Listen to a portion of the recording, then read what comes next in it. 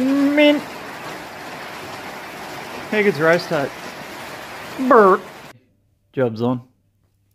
Bonnet's off. Got cracking. Cheers for the help, Thomas.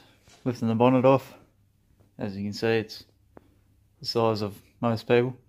Right, got a bit, a bit further, a bit carried on, and uh, boom, deer is gone. Surprisingly, floor pans are actually mint. So uh, we're on now. Had to go at the rust.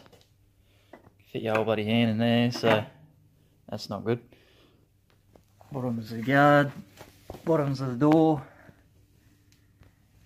front of the tub, all that sort of good stuff. Even the back of the cab in there, a little bit up there. It's pretty hammered, especially that. So, uh, yeah, I got a fair bit of work ahead of me. I'll get into tearing this thing down and the rest of it apart. Okay. Yeah, yeah, yeah, yeah, yeah.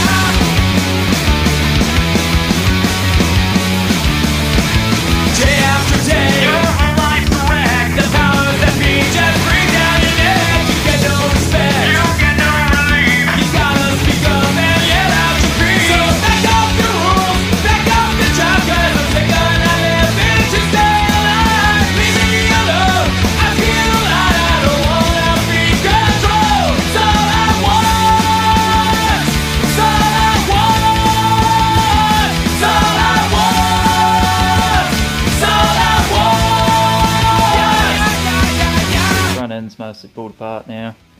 All the grill and bumpers, everything's off it, so as you can see the spiders have moved in. It's funny what you find pulling stuff apart. Yeah, eh? Yeah.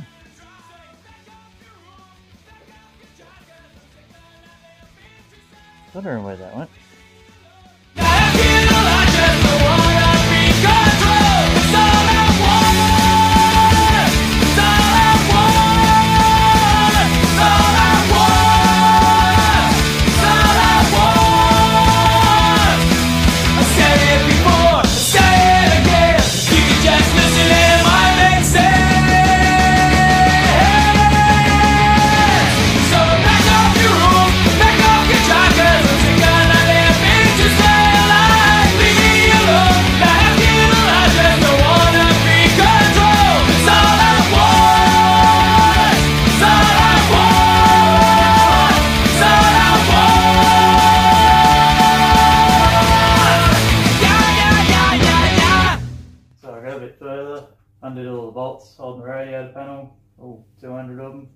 Let's see if I've uh, forgot anything.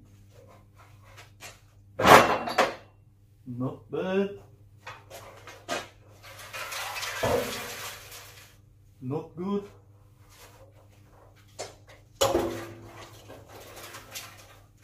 Yeah, so this thing's pretty cooked. So I'll uh, probably get a new one. Saves rooting around fixing this thing. Got enough work to do on the cabs. Take inner aprons out now.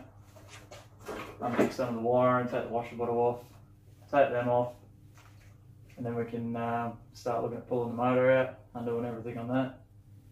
Engine crane just turned up before, got dropped back off. Front clips all off. It's all looking pretty bare now.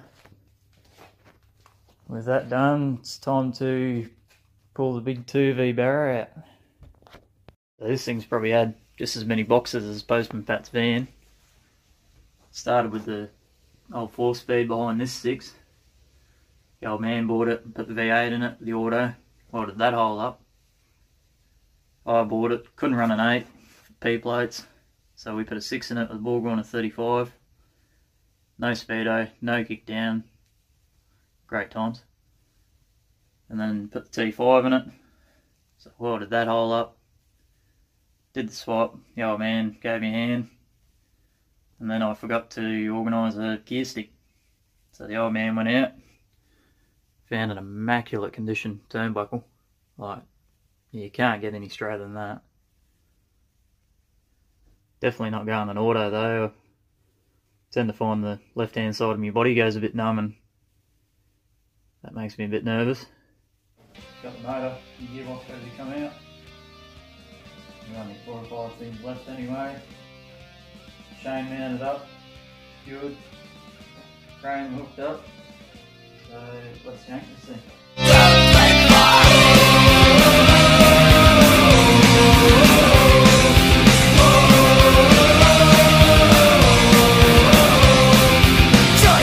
Motor and gearbox finally out, as well as 10 litres of coolant and 5 litres of trans oil. It's a bit of a rundown of this motor. It's got 465 Holley, just put a kit through it. 2V intake with an adapter already welded on. Bought that on Marketplace. Just happened to show it one day. It's got genie extractors. Again, a bit bullshitted on. But when you snap it off on the way to Melbourne with a race car on the back and you're coming into Geelong with no exhaust on, you've got to do what you got to do. On the front lawn at about 10.30 at. Bottom end's pretty much, yeah, standard. Just new rings, bearings, all that sort of stuff. Checked over. Um, it's got a crow cams camshaft it. Nothing huge, but still a good size camshaft.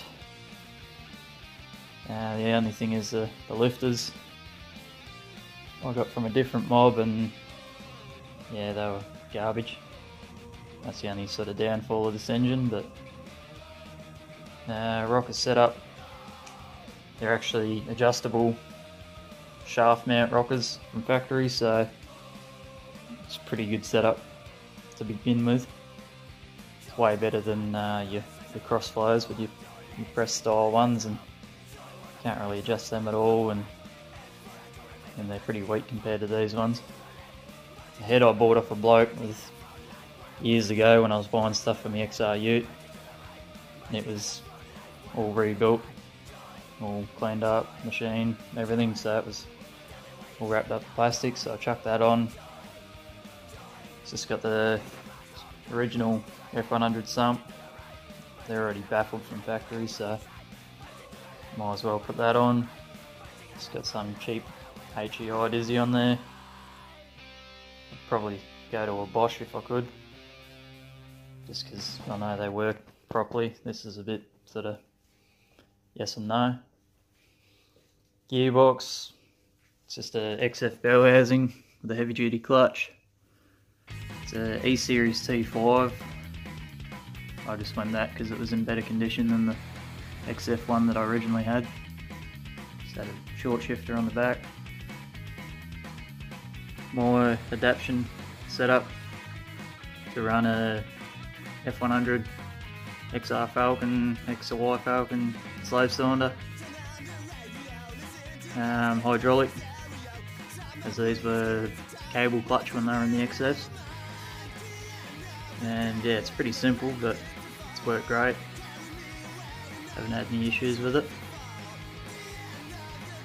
So yeah, that's just a bit of a rundown of this thing. Time to wrap it up, put it away. I've got a car that I'm looking at putting this in.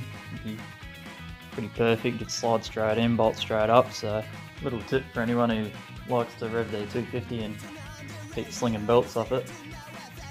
Piece of flat. Bend it to the shape of the original bracket. Weld it on the 90. Just use the Hessian drop welding.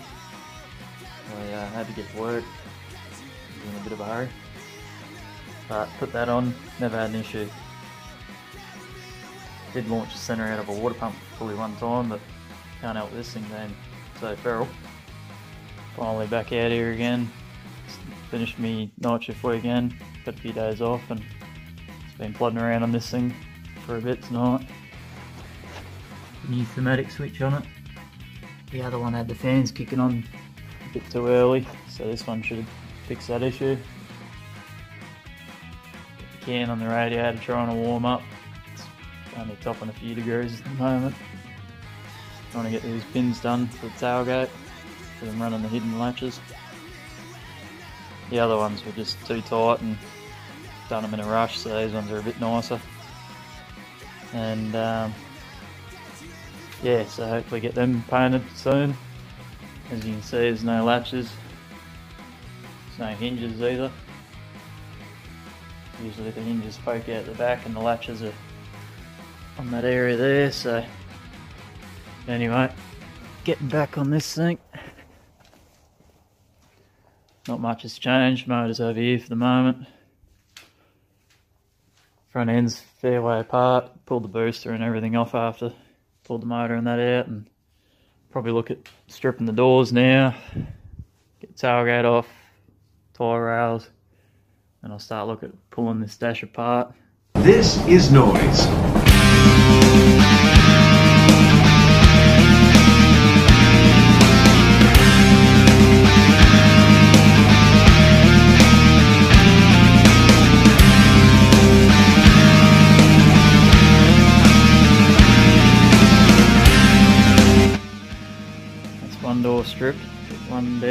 Down, one.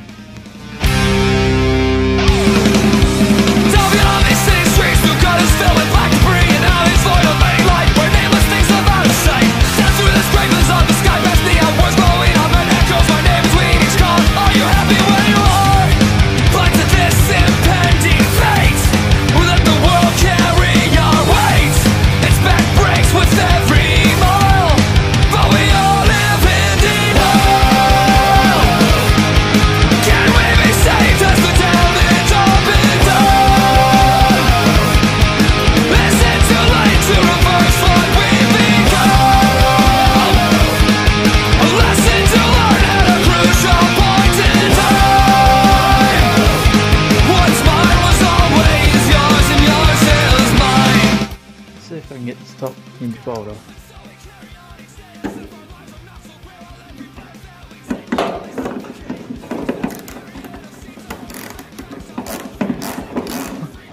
Fucking not bad.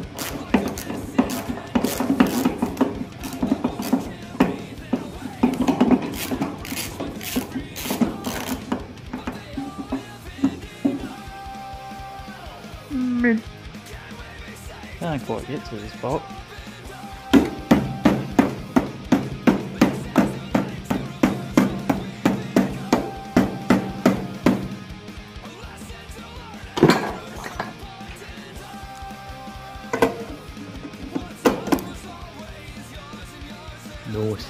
Bit of a mystery why these things rust, but maybe it's the lack of paint. I reckon this thing was a Friday job. Oh, George and Bill come out of Smogo. Tonguing for an early knock. Fucking just blow a bit in there, mate. Should be right. That's off. All stripped, sitting up there.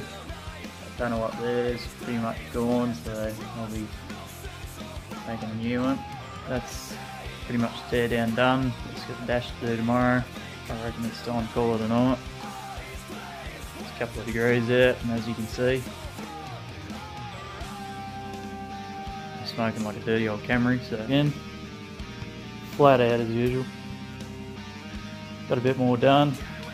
Holy shit! There's gone. It's all cleared out. Windows just going to come out now. Cab can come off. Tub's ready to come off. I'm just going to get all of the ute out of the tub. Sort through all my bits and pieces. Got the little felony flap. No idea what that's for. Maybe it's natural aircon. But came in pretty handy. So the cops roll up on you. They want to do a search. You just grabbed a couple of stubbies from Premix. Just fucking launch them in there. They won't find them. So that's the tear down done. Made this far, well done. Bit of a boring video watching me pull shit apart, but we got the cabs now ready to come off, windows are out. Um, back to work tomorrow though, so I won't get much done till the weekend. Possibly go and get another cab. Just gotta organise that, get that ready. Uh, get back on the weekend, start cutting the rust out of this thing, getting ready for blasting. Start lifting the cab and the tub up, get the chassis outside, get it mounted, and get into it.